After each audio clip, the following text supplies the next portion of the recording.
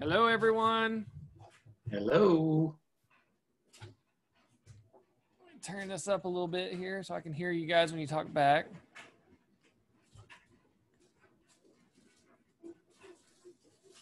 All right. Well, we're going to continue in our becoming a uh, welcoming church tonight. And uh, we've, we've got just a 40 minute time limit, so I'm going to try to not go over this time as I have the past couple of times. that way I don't get charged. So uh, we're going to go ahead and get started with a word of prayer. Uh, do you guys have any prayer requests before we get started? No? Okay. Well, let's go to the Lord in prayer. Father God, we thank you for this evening, the opportunity we have to uh, to connect together using technology. I pray that you'll uh, bless this time, bless our study together. We pray in Jesus' holy, precious name. Amen. Amen. Okay, so I, it's going to be more based out of the book this week than uh, than what we've done in the past couple of weeks. I've tried to really try to stick with scripture more so, but uh, this particular week's topic, scripture doesn't really speak to. Um, this stuff, so it's going to be a little bit different. So let me see if I can get this going here.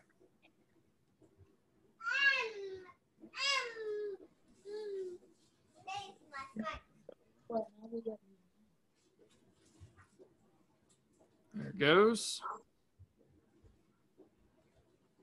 All right. So this week we're going to be talking about signs and sites signs and sites talking about uh, church signs, outside, inside signs, and um, the website. Uh, and so obviously scripture doesn't speak directly to these, and so I don't have a scripture that uh, really goes with these. I was looking to try to find one that has to do with signs, and because uh, uh, it talks about that we're not supposed to look for signs or rely on signs, but um, but I didn't find anything that I thought was just accurate to uh, to speak to, and so I didn't want to uh, do that. So uh, we're just going to go with a little bit something different. And so the, you know, everywhere I go, I use GPS. I don't know about you guys. Uh, I grew up where you had to use a map, and uh, learned how to read maps in the military and uh, so I know how to use a map, but GPS tells you exactly what you need to know. And so uh, sometimes I do find that it doesn't tell me I need to turn quite soon enough. So I'm cutting across three or four lanes of traffic trying to get over. But but uh, most people these days use some form of GPS uh, frequently, especially if they're going somewhere that they don't know. And uh, in, in, talking about this in our church, uh, we if you've been to the church more than about three or four times, you pretty much know where everything that you need to know is. And especially for uh, those of us who've been in uh, as deacons or uh, deacons' wives, I've been working in the building, you know where everything's at. You don't have to ask anybody. Um, but if a visitor's coming in, they don't know where anything is. And so uh, they have to have some sort of direction uh, to know where everything is. And so uh, tonight we're going to be talking about signs, church signs, and church websites. And so uh, Thom Rainer uh, begins by talking about five myths about church signage and websites. So I'll go through those real quickly.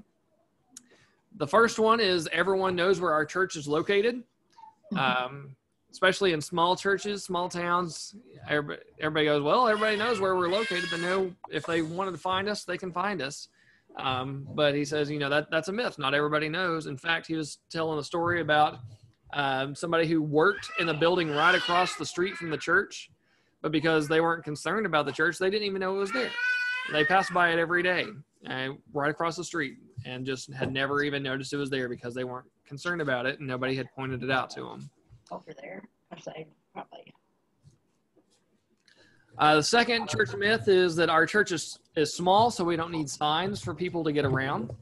And uh, that's uh, obviously a, a myth that uh, he has come to, to show, and we'll illustrate that and talk more about that here in just a minute. Uh, church websites are really not that important, and we'll talk a lot uh, more about that here in just a little bit. Easy to get around in our church. it's easy to get around in our church, um, uh, which can be true uh, if you know where you're going. And so we'll talk more about that in a minute too.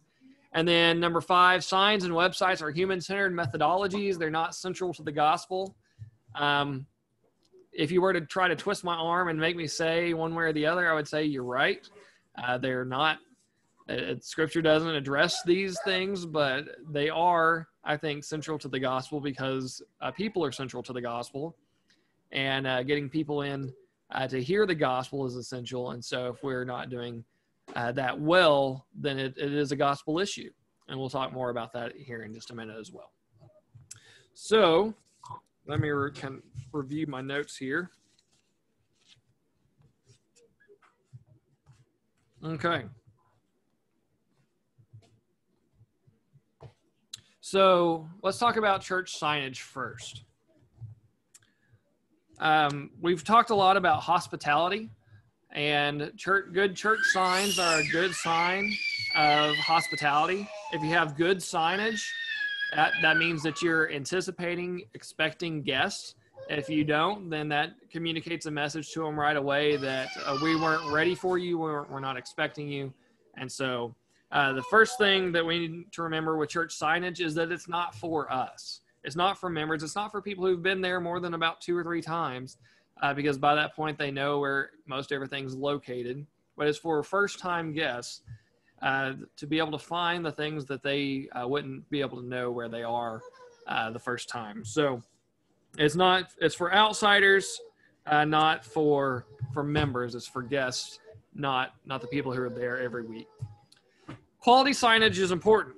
Now I'm not saying that we have to spend a lot of uh, money on signage, uh, but it is important that it's you know it, it's made well that there's not a, a, lot of grammatical mistakes because people will notice that uh, it, it's important that um, uh, that they don't just look cheap uh, but that someone actually took time to put this sign together and so uh, I think that's important as well and and uh, Thom Rainer points that out uh, the external church sign is also important and um, he talks about how big it should be, how small it should be, um, that, that you want it to be the right size with the signs around it. We don't really have that many signs around us.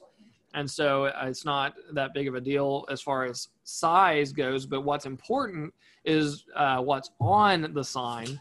And a good example of this um, was uh, a few weeks ago, my parents came uh, and they we had changed the time to 10:30, and I had told them that the time was 10:30, uh, but they set out waiting uh, until a service was supposed to start at 11 uh, in their mind, and so they were they were there plenty of time, but they were sitting out in their car in the front, um, just waiting for uh, closer to time because I had told them that we were starting Sunday school back, and that it was in the sanctuary, and so they didn't want to walk in. Uh, but then my mom just happened to glance at the sign and see that, oh yeah, it says that we start at 10:30 now, and so they quickly uh, got their stuff and went inside, and we had already begun. And so, but it, it was just a something that was important to, to, on the sign to have the right time. And uh, there's stories about you know story upon story of people uh, not having the right time on their sign, and so people come in uh, and they've already begun or they're about over, and so so that's important to have as well. Also, the, the parking lot should have clear signage um, because guests need to know where to park. And, and he says, you know, that there was a, a, a group that came in, a couple that came in, they drove around the first two or three lines of parking uh, and didn't find an open parking spot. And so they just left because they couldn't find an open parking spot near the door. And so it's important for us to have clear signage for parking as well. Uh, as well as, in addition to that, there should be a clear signage pointing to the entry points of the church. And uh, some churches have uh, several, I mean, we have several entry points. You could come in from diff- several different ways. Uh, but a lot of uh, churches lock doors after the service has begun uh, so that all entry is pointed toward one place for safety. And so in that case, there there needs to be signs pointing to where someone should go in. And we, we ran into this at one church that we were attending uh, that uh, we didn't know that they locked the doors, and so we were trying to get in. And thankfully, they had locked this door because if we had gone in the door that we were trying to go in, we would have been right up at the front uh, of the sanctuary. And so, thankfully, that door was locked, and and uh, but there was no signs telling us that, and no signs pointing to the front door. And so we just kind of stumbled our way along until we figured out where to get in. Uh, so it's important that we have an entry point uh, signs that say, you know, come enter here. Uh, for our parking, there there's two must signs according to Thom Rainer, and I, I would agree with this. Uh, one is for handicap, those who are not able uh, to walk, need a wheelchair, or not able to walk far without a walker. Uh, they need to be able to have a space near the front. And then also, guest parking needs to be clearly identified near the front as well. And uh, he says, you know, some churches also have additional marked parking for like senior adults or expectant mothers parking for families with that have preschoolers have them parked near uh, the preschool area so they can walk right in there. And so having signs that will just help people first time guests know where they need to go is important. Internal signage talking about that that's on the inside of the building uh, needs to be good quality have readable font and be the correct height uh, if you can't read it from a distance because the font is uh, a fancy font, then then people are, aren't going to abide by it because they're not going to take time to try to comprehend what it says. So it needs to be just plain block type uh, where people can see it, and then correct height. If it's above someone, most people's heads, uh, they're not going to look at it. It needs to be where uh, within eye view, and so oftentimes we don't take uh, take the position of a sign uh, to matter that much but if it's above out of the line of sight then it's not going to not going to matter because people aren't going to read it. And then um, all signage should be friendly communicate an attitude of hospitality. If you have a lot of don'ts on signs then that communicates a negative attitude. Uh, don't bring food and drink into the sanctuary. Uh, he says one church that he went to evaluate says uh, on their sign, those bringing food or drink into the worship center will be asked to leave. Uh, so that's that's not what you want to communicate to guests. And so uh, make sure that the signs are friendly and welcoming. He also spoke about uh, mobile signs that, you know, if you have multiple services uh, during the week, you can have different signage that's um, that can be useful. We have some examples of that with the the food distribution. Just setting a sign out says, "Hey, come to this door for uh, food distribution," uh, and, and the like. So, mobile signage can be uh, beneficial. I think it would be very beneficial for um, our church if whenever we uh, resume having Wednesday evening services and and uh, Sunday evening services uh, to to uh, narrow down some of the doors and just you know come in this one. Other than that, um, th- this is really goes back to the idea of hospitality that we've um, been talking about. So we should um, look at these every year at, at minimum and, and see are they still relevant? Do we have signs that we've had up there that are no longer correct, just need to be taken down, uh, and and the like. Um, but this is this is part of communicating hospi- in hospitality um, saying hey we want you here. We welcome you here. We're, we're prepared to have guests here. And so uh, that that should ultimately the goal would be to lead to a gospel conversation with someone. And so um, that, that's what we want to do is to help welcome guests show hospitality to outsiders so that when they come, they know that they're welcomed. So, um, if you've been to Ardmore over by Central Park, there's a church with a bright red door. I've always wanted to go in that church just because I'm curious what's behind the bright red door, uh, but I've never gone in. Um, but when you when you think about this question of what led you to to come visit our church, most people aren't going to say the bright red door. I'm just kind of a weirdo, uh, but if you ask what what led you to our church, um, most of the time, it's it's going to be uh, based on a new front door. Not not that somebody drove by and, and saw the sign. Not that somebody uh, drove by and saw the actual physical front door. In fact, um, Thom Rainer says that seven out of ten guests, seventy percent of first-time guests, first visit the church's website. If they don't have a website, they're not likely to visit at all.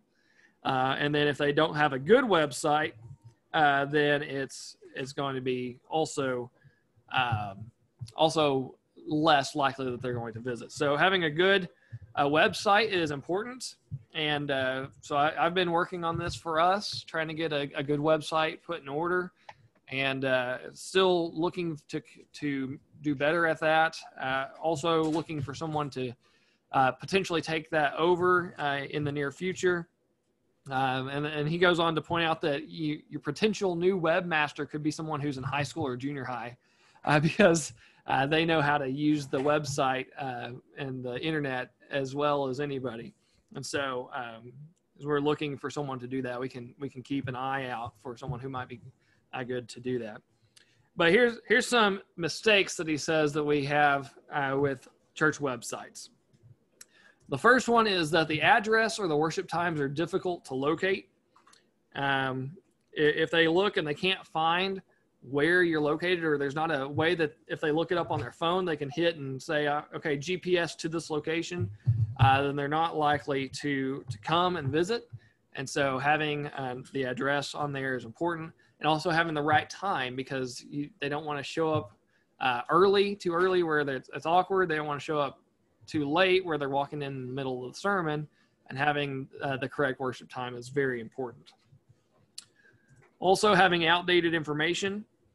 Uh, he, he, tells a, story about uh, he, as he was writing the book, it was in uh, like late October when he was writing this, and uh, the church website that he visited had um, a promotion for Easter of the year before and so we want to make sure that the website information is staying up to date and uh, to the best of our ability. I thought this one was interesting a lack of clarity about what the church beliefs or church's doctrine. And he says, you know, not all guests are going to check this, uh, but there will be many that will. I know anytime I'm looking to uh, visit a church, that's what I want to go to is see is the church that I'm going to go visit, are, are they Bible believing? Are do they have correct beliefs and doctrine or are they going to be teaching some heresy that i would be exposing my children to and so not everybody's going to check that but it's it was uh he said you may lose as many as half of your potential guests if you don't have um, clarity about what you believe in your doctrine if the website has incomplete or total lack of information out, about children's ministries or student ministries, uh, then you're going to lose uh, many parents and so he says, if you want to win over these parents, you need to tell them explicitly uh, not only where they can go, what information you have, but exactly how does a church uh, go about keeping their kids safe and secure while they attend church. And we'll talk more about that uh, next week. And so, and he also said, you know, if if you require a check-in, then you can do that online prior to visit, and that would help ex, uh, expedite measures. Another is poor graphics or copy. I've really tried to not have any of that, uh, but it, I, it is important to have not just pictures of the building, but of pictures of church members on the uh, on the website as well. And so uh, that might be something we want to look into to trying to do over the next uh, few weeks is take some pictures of during the service, um, pictures during any events that we have to be able to post on the website as well uh, so that we don't have to rely on those. And then hardly visible contact information. If there's not a good way, good place where they can contact the church and someone there to respond to it, uh, then it, it's not going to be um, it's not going to go very well. You're not going to have very many guests if they ask questions and and nobody responds to it. So um, having a, a, way for someone to respond to questions right now, uh, we've got uh, the the Gmail account um, listed there. I received that on my phone, so I'm able to respond. But if we um, had others that were able to respond as well, that would be uh, be better. And then no photos of pastor, staff, or other leadership. Um, and I've been working on that. So uh, Richard and Dan, y'all might want to take a look and see your Nicole, see your picture on uh, that I put on there uh, under staff on the and leadership on the website. So if you want me to change it, you can send me another one. I'll swap them out. But uh, I wanted to make sure and have that on there. So um, and there's a lot of other things that could be listed on a website, uh, like uh, steps on how to become a Christian and stuff. And, and so I'm still working on that. But if you uh, have an opportunity to, to look at the website or maybe someone that you work with, uh, say, hey, would you mind evaluating this website for me and see if there's anything on here that you would want uh, want to know that we haven't addressed and just do some evaluation so we can improve on that.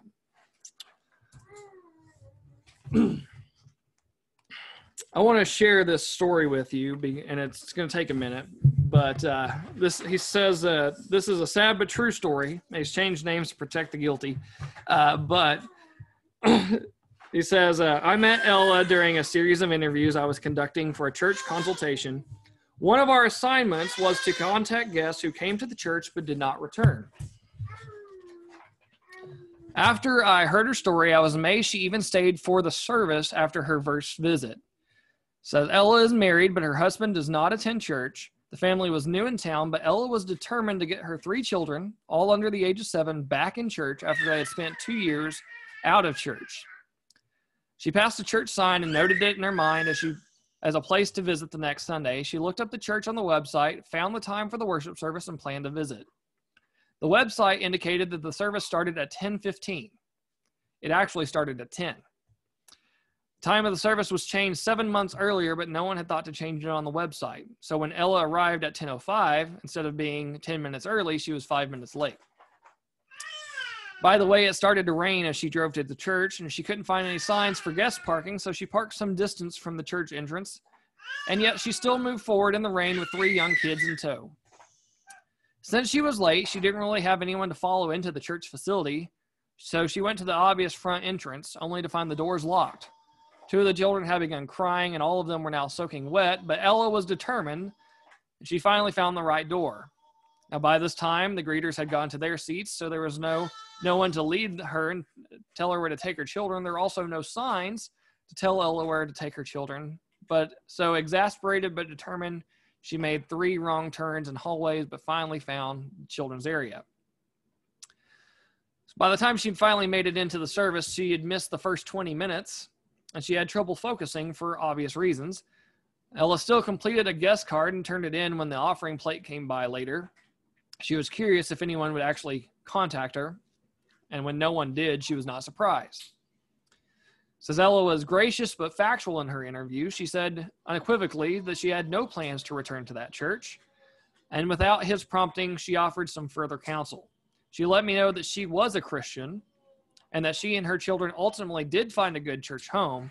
But she told me that if she were not a Christian, and if she had summoned the courage for only one church visit, she would never have returned to any church after her bad experience. He says her, her final words are worthy of a direct quote, and that's what I want to get to. That church and everything it did, bad website, no signs inside or out, no greeters around, sent me a clear message. Guests are not welcome here. If I had not been a Christian before I came to the church, I would probably still not be one today. And so, as, as he concludes this chapter, he says it's not just about signs and sites, it's about the message of hospitality that we share. The message of hospitality becomes the pathway where we can share the message of the gospel with people. And so that's why we must work on these areas to become more welcoming churches. So, some points to ponder as we close tonight. I'm going to go ahead and put all these up here. Do you think any of the five myths of, about church signage and websites are present in our church?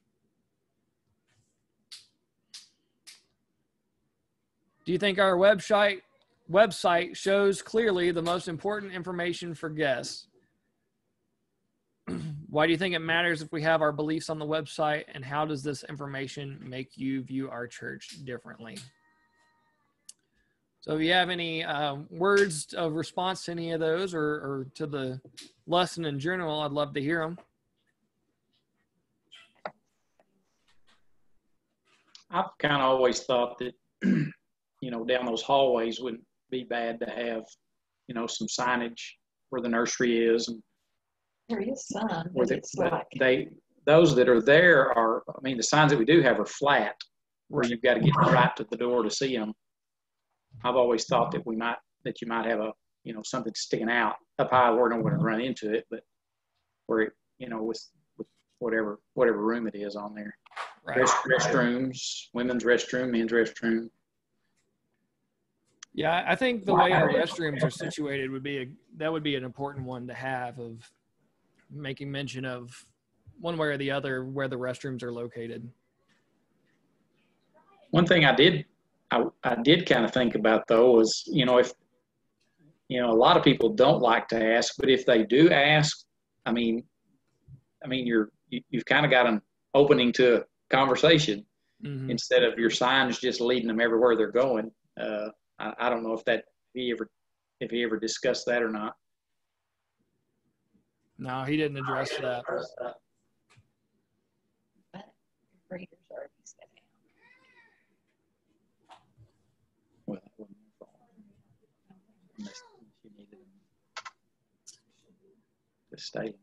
It had signs. and she would stay with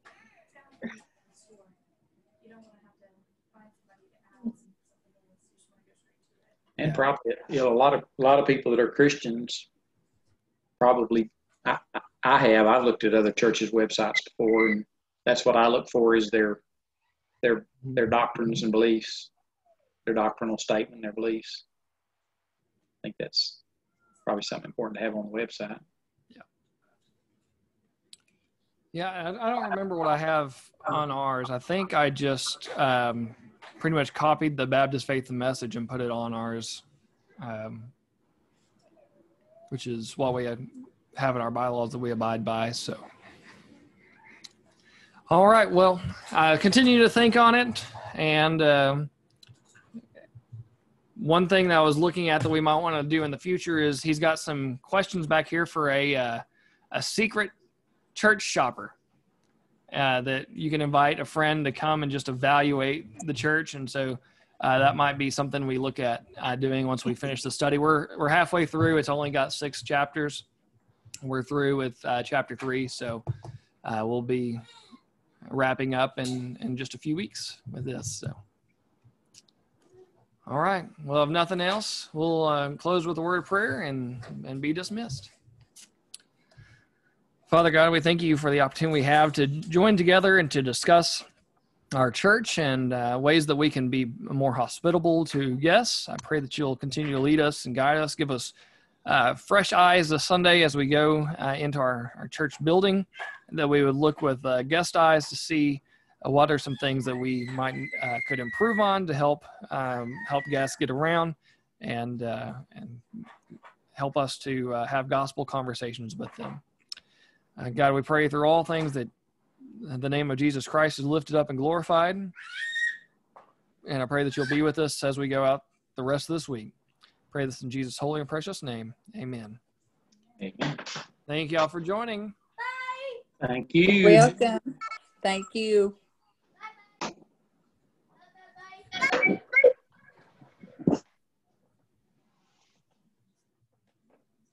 Hey, Richard.